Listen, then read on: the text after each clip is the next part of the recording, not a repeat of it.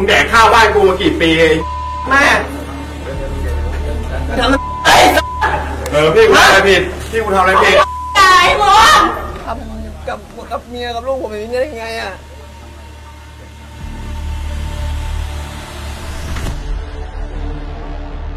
อีทำได้ไงวะ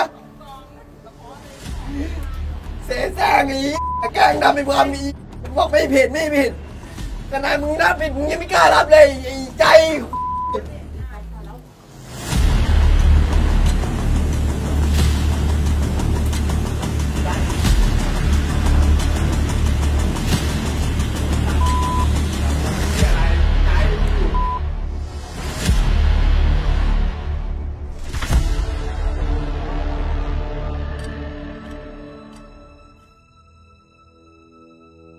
สองชีวิตต้องดับศูนย์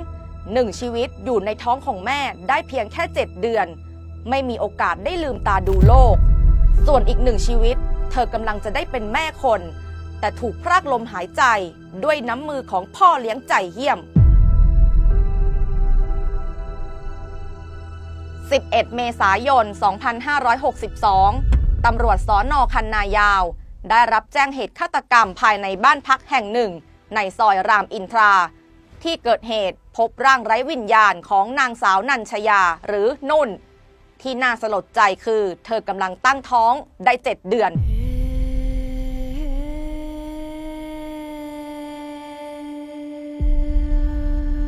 นุ่นเสียชีวิตในสภาพนอนคว่ำหน้า มีบาดแผลที่ข้อมือขวา ส่วนที่ศีรษะก็ถูกตีด้วยของแข็งเป็นแผลชะกัน ข้างๆร่างไร้วิญญาณของนุ่น พบค้อนตกอยู่ ผนังห้องรวมถึงพื้นเต็มไปด้วยเลือดที่สาดกระเซ็น ตอนนั้นเวลาประมาณเที่ยงนะครับ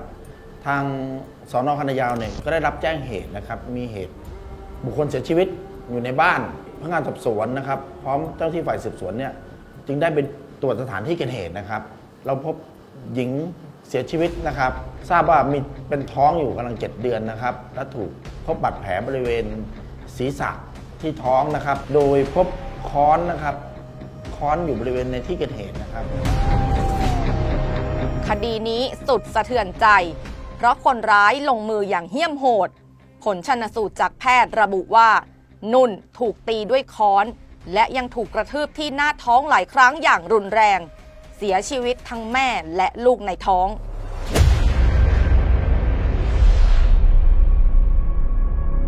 จากการสืบสวนสอบสวนของตำรวจทำให้ทราบว่า ผู้ก่อเหตุคือนายภูมิใจเหลืองทองหรือใจ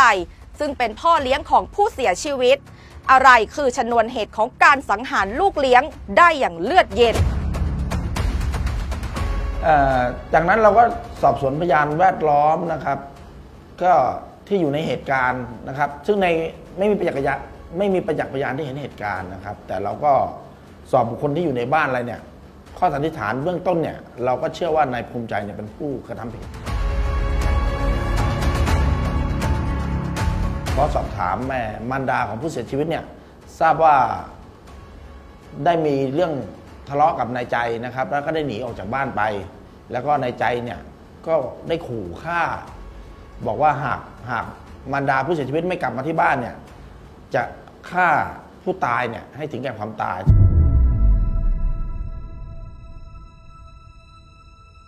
ฆาตกรคือพ่อเลี้ยงใจโหดฆ่าลูกเลี้ยงของตัวเอง ทั้งๆทที่กำลังตั้งท้องได้7เดือน เพื่อประชดอยากให้เมียกลับบ้าน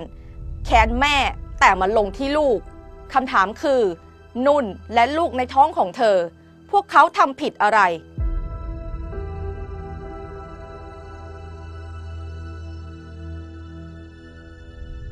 การกระทำของในใจเนี่ยเป็นการกระทำต่อ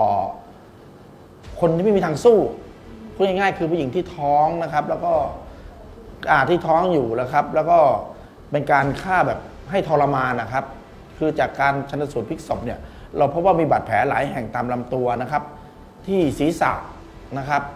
ที่ท้องแล้วก็ที่ด้านหลัง ซึ่งอาวุธที่ใช้เนี่ยเราก็สันนิษฐานเบื้องต้นตอนนั้นขณะนั้นแล้วว่าคงจะต้องใช้ค้อนนะครับ เพราะว่าค้อนค้อนเนี่ยตกอยู่ในที่เกิดเหตุ แล้วก็มีรอยเลือดนะครับ แล้วก็ด้ามค้อนนี่ก็หลุด เป็นไม้ก็หลุดจากค้อนเลยนะครับ แสดงว่าเป็นการตีหลายครั้งนะครับทำให้ทุกข์ทรมานให้เสียชีวิต แล้วก็ในใจเนี่ยก็ไม่ได้คู่กรณีโดยตรงกับผู้เสียชีวิต เพียงทะเลาะกับมารดาของผู้เสียชีวิตนะครับ แต่ด้วยความไม่พอใจมารดาผู้เสียชีวิตไม่ยอมกลับมาบ้านนะครับ ก็ไปลงกับผู้ตาย เพราะทราบว่าผู้ตายเนี่ยเป็นบุคคลที่มารดาเนี่ยมีความรักมากนะครับนะครับ แล้วก่อนที่จะฆ่าเนี่ยก็ไป โทรไปคุยกับมารดาของผู้เสียชีวิตแล้วแต่ไม่ยอมรับสาย แต่ก็ได้ฝากความคำอาฆาตไว้ถ้าไม่กลับมาก็จะทำร้ายผู้เสียชีวิตให้ถึงแก่ความตายนะครับตำรวจพลิกแผ่นดินเพื่อล่าตัวในใจมาลงโทษ จนกระทั่งวันที่ 13 เมษายน 2562 มีคนพบในใจกินยาเบื่อหนู หวังปลิดชีพหนีความผิด แต่ประตูนรกยังไม่เปิดรับ เขาเลยไม่ตายอย่างที่ใจหวัง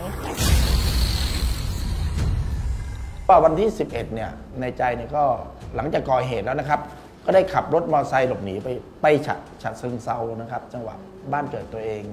นะครับ ก็ไปกินข้าวตามร้านอาหาร ก็มีพี่น้องประชาชนแจ้งเบาะแสมา ซึ่งตำรวจเราเนี่ยก็ตามไปตลอดนะครับ ก็คาดเคลื่อนตลอดนะครับ พอวันรุ่งขึ้นวันที่ 12 ก็เข้ากรุงเทพนะครับก็เอารถมาจอดไว้ที่เซเว่นก็มีพี่น้องประชาชนแจ้งเบาะแสมาตลอดเลยนะครับ เราก็ไปตามยึดรถได้นะครับ แล้วก็ทราบว่าคืนวันที่ 12เนี่ยในใจก็มานอนตามรีสอร์ทแถวหาดไทยราชนะครับจนวันรุ่งขึ้นวันที่ 13 ก็ว่าไปที่ตลาดบางกะปินะครับไปซื้อยายาเบื่อหนูกินแล้วก็มามายังจุดที่เกิดเหตุ จุดที่เกิดเหตุคือบริเวณป่าละเมาะหลังร้าน อาหารตามสั่งแถวอู่รถเมย์ครับสายแฮปปี้แลนด์สายสองนะครับ ก็มีแม่ค้าไปพบเห็นเข้านะครับ คือแม่ค้าก็แจ้งตำรวจ นะครับมาก็ปรากฏว่าค้นตัวในใจเนี่ยก็พบสมุดธนาคาร ชื่อนายภูมิใจเหลืองทอง ก็แม่ค้ากับตำรวจขนาดนั้นก็รู้เลยว่าเป็นผู้ต้องหาที่สอนอคณะยาวกำลังตามจับตัวอยู่ จากนั้นก็สอนอลาดพร้าวก็แจ้งกู้ภัยนะครับเอารถพยาบาลมามาส่งที่โรงพยาบาลนพรัตน์นะครับ ซึ่งในวันนั้นเราก็ไปไปอายัดตัวไว้ที่โรงพยาบาลนพรัตน์ครับแล้วก็จับกลุ่มตัวมาดำเนินคดีตามกฎหมาย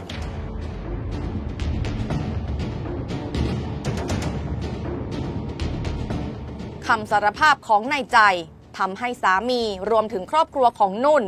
ยิ่งทวีความโกรธแค้น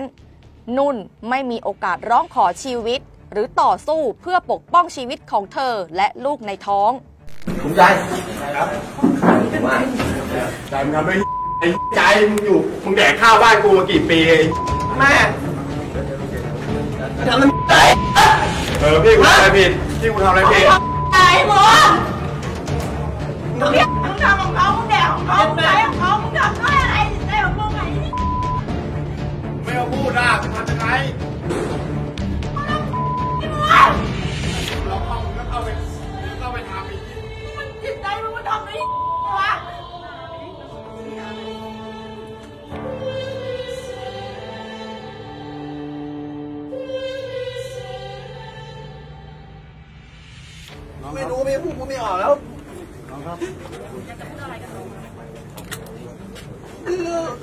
คำรับสารภาพเขามันมันไม่เพีพอที่จะที่จะช่วยอะไรได้เลยตอนนี้คือเขาบอกเขาเขาอารมณ์ร้อนคำพูดแค่นี้พี่คนอารมณ์ร้อนคือแล้วเขาทำกับกับเมียกับลูกผมแบบนี้ได้ยังไงอะลูกเมียผมทั้งคนนะพี่ช่วยผมหน่อยพี่คนนัดเซนสารนะพี่ฆ่าตัวตายยังกินยาไม่ตายเลยกูดิเอ็มทำได้ไงวะ เวลาเขาทำเนี่ยเขายังไม่บอกเขาทำยังไงอะ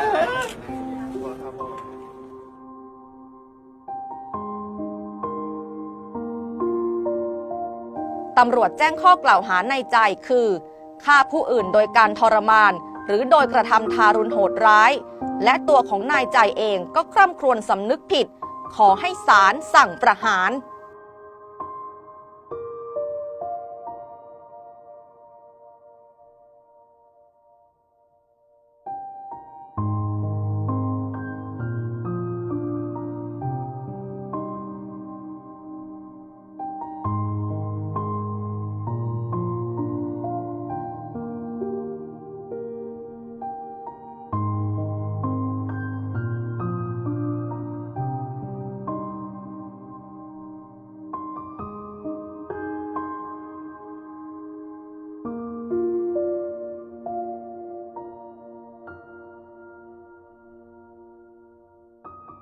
ก็คือโดนแจ้งข้อหาในการตามประมวลกฎหมายอาญามาตรา 289ฆ่าผู้อื่นนะครับ โดยกระทำทารุณโหดร้ายหรือหรือโดยทรมานนะครับเขาก็รับสารภาพนะครับ ว่าเขาก็ทำผิดจริงนะครับเขาก็เขาก็เรียกร้องนะครับ ต่อต่อเจ้าหน้าที่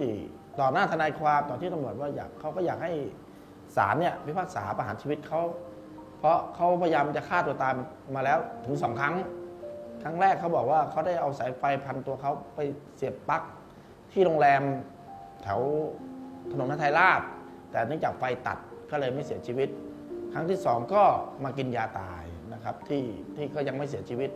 เขาก็ หากศาลตัดสินให้เขาประหารชีวิตได้เขาก็ยินดี มันไปตายอะค่ะอยู่ในนั้นมันก็ไปให้มันตายตายอย่าให้มันตายเร็วนะ เข้าไปข้างในมันก็ไม่รอดหรอก อยากให้มันตายช้าๆ ให้มันรู้รสชาติไปแล้วแล้วมันตายนี่มันเป็นยังไงอืมแต่ เขาไว้ยังไงก็ให้มันเจออย่างนั้นอะหนักกว่านั้นไปอีกอะ อืม